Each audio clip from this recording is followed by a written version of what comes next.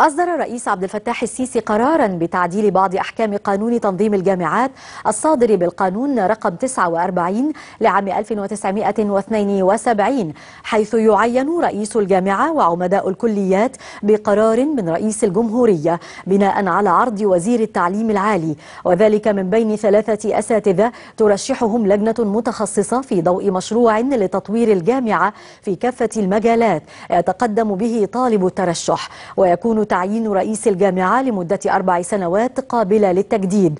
كما يجوز إقالة رئيس الجامعة من منصبه قبل نهاية مدة تعيينه بقرار من رئيس الجمهورية بناء على طلب المجلس الأعلى للجامعات.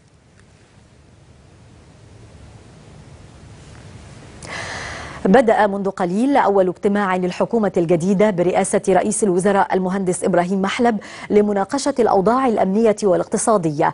ومن المقرر أن يناقش الاجتماع التعديلات على الموازنة العامة للدولة والتي رفض الرئيس الموافقة عليها نظرا لارتفاع نسبة العجز بها بالإضافة إلى مناقشة الاستعدادات لشهر رمضان والحالة الأمنية بالشارع المصري.